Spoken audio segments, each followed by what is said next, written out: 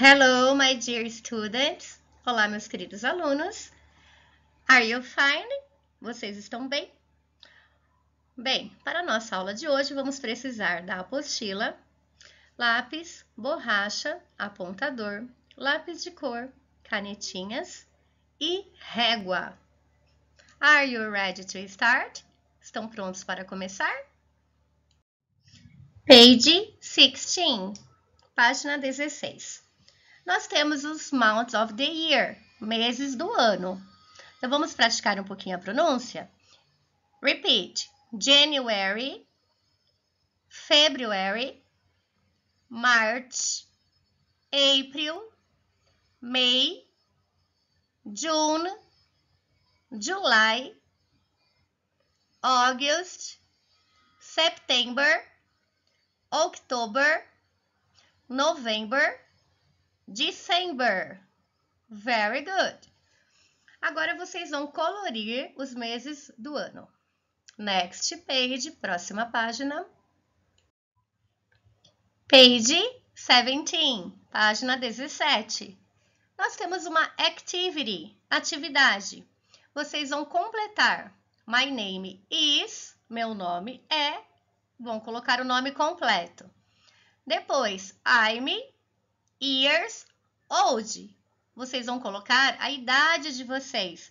Então, por exemplo, se vocês tiverem 10 anos, vão escrever 10. Se tiver 11, 11. E assim por diante, ok? My birthday is on. Meu aniversário é. E aí vocês vão completar com o mês, primeiro o mês em inglês, e depois o dia ok? E aí vão colorir Happy Birthday. Repeat. Happy Birthday. Ok? Feliz aniversário. Page 18, página 18. Aqui nós temos uma outra atividade com months of the year. Months of the year, meses do ano.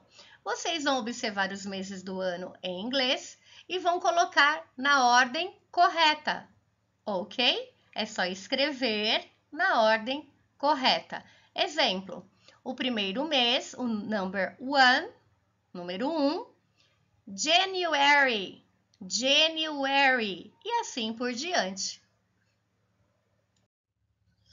Page 19, página 19. E aqui temos a nossa última atividade dessa semana. Match the months of the year with the ordinal numbers. Repeat. Match the months of the year with the ordinal numbers. Então, na primeira coluna, temos os months of the year, os meses do ano. E na segunda, os ordinal numbers, os números ordinais. Então, vocês vão voltar para a página 10 da apostila vão olhar, vão observar os ordinal numbers, os números ordinais, e depois vão fazer essa atividade, ligando o mês ao número ordinal correto. Example, exemplo, January is the first month of the year. Janeiro é o primeiro, first, primeiro mês do ano. E aí vocês vão utilizar uma régua para ajudá-los. That's all for today. Por hoje é só. See you next class. Bye bye.